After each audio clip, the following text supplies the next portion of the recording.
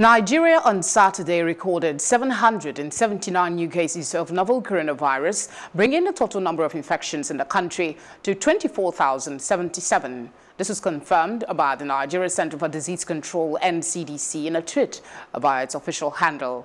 Saturday's news cases marked the highest daily increase since the health agency started reporting COVID-19 infections in February.